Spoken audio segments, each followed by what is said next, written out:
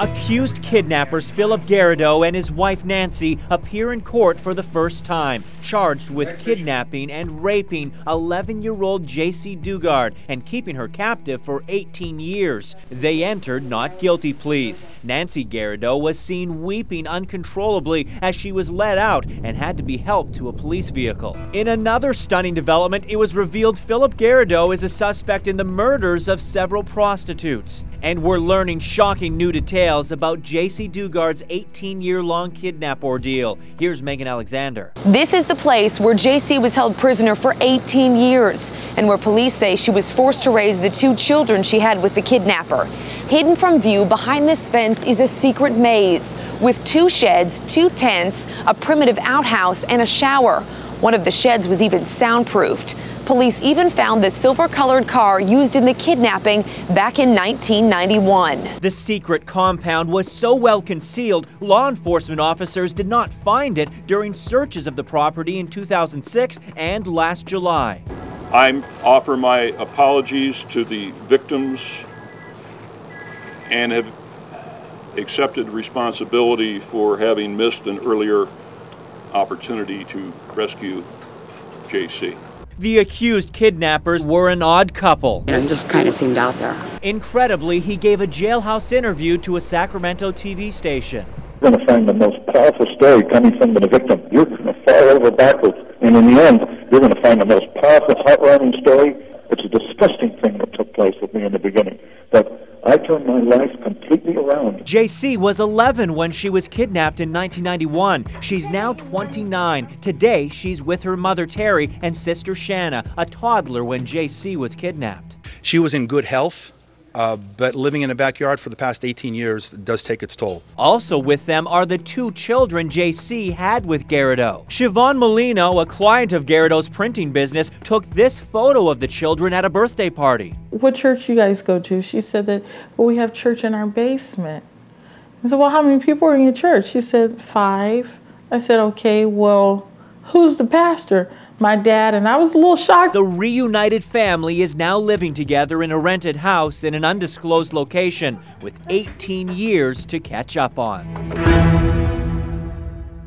The man in this haunting mugshot has a long history of monstrous behavior, including a previous conviction for kidnapping and rape. The citizens should be outraged that a predator like him was free to prey upon somebody else, only this time, unfortunately, an 11 year old child. In 1976, Phillip Garrido, then 25, abducted a woman from a Lake Tahoe parking lot, took her to a warehouse, and raped her. He had induced this young lady uh, to get into his vehicle. He then tied her up, you know, like the, the cowboys do in a rodeo. Uh, he tied her up that way, threw a dirty blanket on top of her, and put her on the floor in the back seat all the time taking LSD and describing to her in graphic detail what he was going to do to her when he got her to Nevada. Today, the prosecutor in the case is outraged that Garrido was released, only to allegedly kidnap Jaycee Dugard and imprison her for 18 years. What was your reaction when you learned that he was arrested for another horrific crime? I'm shocked at what this child had to go through for the last 18 years, but unfortunately not shocked at, at the, the depravity of this man. Garrido was sentenced to 50 years at the federal penitentiary in Leavenworth, Kansas. There, he met his wife Nancy, the niece of another prisoner. They got married behind prison walls. Garrido's brother calls the woman a robot and compares the relationship to Charles Manson and the notorious Manson girls. Garrido was paroled in 1988, having served just 11 years. He then moved into the home where he built the backyard from hell. We found his father at his home where he blamed his son's problems on drug abuse. And he got all this stuff and that was the end. Couldn't talk to him. No matter what you said. Garrido's own brother calls him a fruitcake and an idiot. Now the prosecutor who hoped Garrido would never be free to victimize another young woman can barely contain his anger. What do you think should happen now? I think he should be tried, I think he should be convicted, and I think they should throw the key away.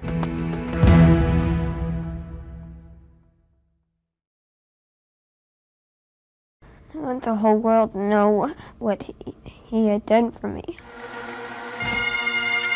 Chantel Peterson is talking about a man she helped to lay to rest, a man named Terry Farrell, one of the 343 firefighters who died trying to save lives at the World Trade Center.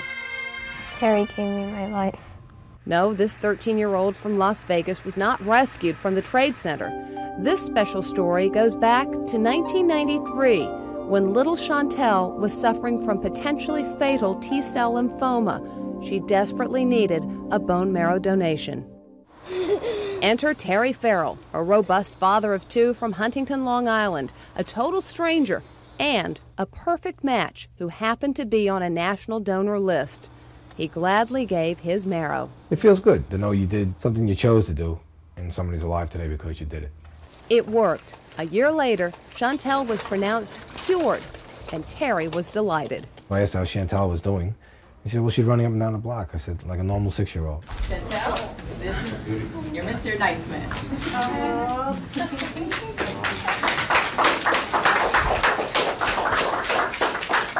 And when at last they met, it was a friendship for life between the grateful little girl and the fireman who knew just how precious life is. We work in a dangerous profession, and you know, the one day you might walk out the door, you might not come home again. For Terry, that day was September 11th. Chantel will never forget how she got the tragic news from her mom, Sherry. She said that they had found his body, and I go, I start smiling, and I go, Is he okay? And my mom said, No. Chantel desperately hoped she could save Terry's life, as he had saved hers. She was getting ready for school, and she says, Mom, is something wrong with Terry? Do I need to give him some blood or something? I wish I could have told her yes. And so the Petersons made the long trip to Long Island for a final farewell to Terry, whose own children, TJ and Rebecca, mourn the man they remember as a devoted dad who always found time for them. I'm sad and angry at the same time because my hero was killed. Chantel gathered her strength to give a reading at the funeral service for the man who saved her life. I felt his his warmth and just trying to pr- prove that I could be as brave as he was. This is a medal Chantel will always treasure. It came from Terry's uniform, a memento of courage she'll always keep from the man who never made a big deal out of what he did for her. I don't go out and you know start telling everybody, yeah, pat me on the back, I'm a great guy here. You know, it's like because there's people know I'm not that great all the time. But there's a young girl from Las Vegas who would disagree with those words when it comes to Terry Farrell, for whom Chantel has some final words of her own. I won't forget you, and I will always love you forever. He's the new American hero, the pilot of the U.S. Airways jet who flawlessly landed his plane in the Hudson River. Chesley Sullenberger, known as Sully, is being hailed the hero of the Hudson in front page headlines. Tribute pages popped up overnight on Facebook with thousands of messages of admiration, and President Bush also hailed his heroism. We are very grateful that everyone is off the airplane safely, and that was really what my husband asked to convey to everyone. And of course, we are very proud of Dad. His wife Lori's voice cracked as she spoke of the drama. She's a fitness expert on a San Francisco TV station, and they have two young daughters. My husband has said over the years that it's highly unlikely for any pilot to ever have an incident in his career, let alone something like this. 57 year old Sully's heroism didn't end with bringing down the plane safely. He was the last man off, wading the aisles in waist deep water to make sure all passengers were off. The pilot did a masterful job of landing the plane in the river and then making sure that everybody got out. New York Mayor Michael Bloomberg spoke in awe of his heroism. I had a long conversation with the pilot. He walked the plane twice after everybody else was off and uh, tried to verify that there was nobody else on board. Sully was the right man with the right stuff at the right moment. He's a pilot's pilot, and uh, he loves the art of the airplane. This is Sully as an Air Force Academy cadet when he was 22. He flew F 4 Phantom jets for seven years. This captain did an incredible job. Uh, he's a man whose hand I would like to shake someday. This is how it looked from the pilot's point of view, recreated for Inside Edition in a flight simulator. He avoids Manhattan skyscrapers to land in the Hudson River at an estimated 140 miles per hour. Courage in the cockpit was matched with compassion in Thursday's drama. Several passengers suffered from hypothermia in the freezing temperatures. Survivor Barry Leonard told Good Morning America the pilot or co pilot literally gave him the shirt off his back. I actually still have it this morning. I'm not going to give it up. Oh, what a difference a day makes. Today, Emma Sofina is safe and thankful she's alive. A professional singer from Australia, Emma was on her way to Charlotte to visit friends when the U.S. Airways jet went down. And then next minute, bang, and uh, I thought we'd hit a building. You just heard the pilot brace yourself for impact. Um, you know, how do you brace yourself for impact when you know your plane's about to crash? Our cameras captured 23 year old Bill Zuhowski being loaded into an ambulance moments after his rescue. The impact hitting the water was just, you know, the most tremendous impact you could imagine. You know, I guess my head slammed into it. I, I lost my, my glasses. Still trembling from his ordeal, Zuhowski remembers everything that happened as freezing water started flooding in. For a second, I just thought that I was going to die right there in, in a plane, you know. I was just going to drown. The water was coming up so fast in the back, I ripped all my clothes off thinking, you know, I'd, I'd be lighter, I might have to swim. I was, you know, completely soaking wet in my underwear. Rescuers covered Zuhowski with blankets so he wouldn't freeze to death. The fist pump says it all as passenger Ray Mandrell realizes he has made it to safety. That was in celebration. Everybody made it out the plane. Mandrell was traveling with Renee Williams, a music publicist from Florida. She says she and other passengers held hands in prayer when they realized the plane was going down. The girl next to me, she saw me and she just started shaking and I grabbed her hand and I looked at her and I said, don't worry, you're gonna be okay. We've got angels protecting us.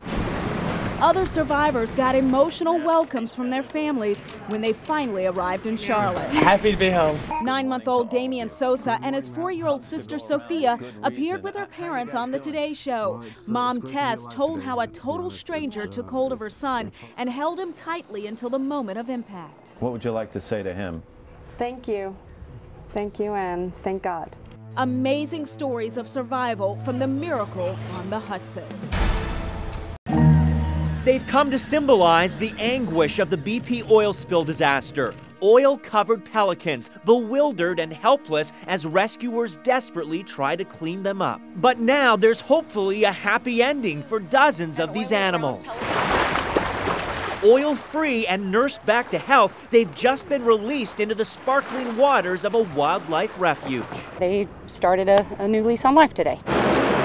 The release is run like a military operation. Giant Coast Guard transport planes carry 62 pelicans from a rehab center in Louisiana to an airport in Texas. The birds are then loaded into vans and taken to the Aransas National Wildlife Refuge near Corpus Christi. At the shoreline, the cages, each containing two birds, are carefully opened by fish and wildlife staffers and other helpers.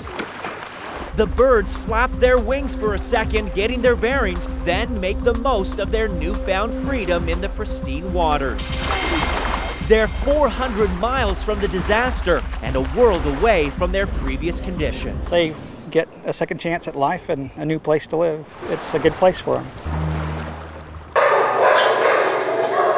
These dogs are among the smallest victims of the Gulf oil disaster. They've been turned into Louisiana area animal shelters because many of their owners are out of work fishermen who can no longer afford to keep them. What they're having to do is choose between their families and their pets, whether to feed their kids or feed their pets. Louisiana shelters are overflowing with abandoned pets. The dogs who are not adopted are often euthanized. The numbers are staggering. In June alone, one Louisiana shelter took in 270 animals. 179 were put to sleep.